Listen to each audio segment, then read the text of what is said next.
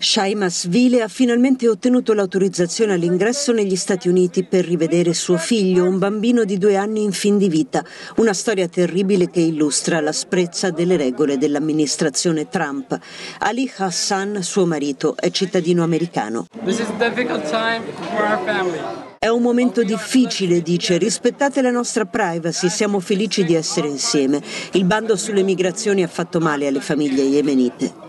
All'origine del problema proprio il divieto di ingresso negli USA per i cittadini in provenienza da sei paesi islamici, fra cui lo Yemen.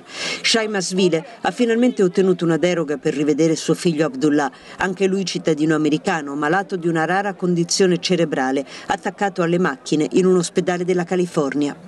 La storia ha suscitato scandalo e le pressioni di alcuni parlamentari e del Consiglio delle relazioni islamico-americane. Infine l'ambasciata USA al Cairo, dove Shaima viveva, ha concesso un visto alla donna.